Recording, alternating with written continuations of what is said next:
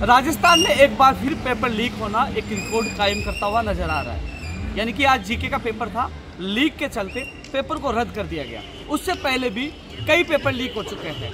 UPSC के paper leak नहीं होते, लेकिन राजस्थान में आरपीएससी के पेपर लीक होना एक आम बात बन चुकी है। अभ्यर्थी कई सालों से तैयारी करते हैं, आर्थिक मार झेलते हैं और वो सपने देखते हैं कि हमारी बच्ची परीक्षा सही संपन्न होगी।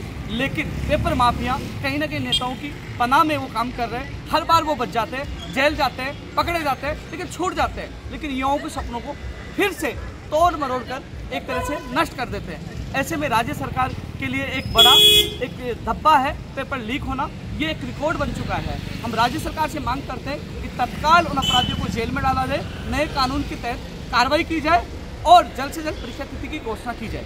पेन एरो राजस्थान महासंघ। देश और दुनिया की हर बड़ी खबर के लिए सब्सक्राइब करें नवतेज टीवी और पल पल के अपडेट्स के लिए बेल आइकन को दबाना ना भूलें। क्योंकि आपकी खबरों का भरोसेमंद साथी है नवतेज टीवी।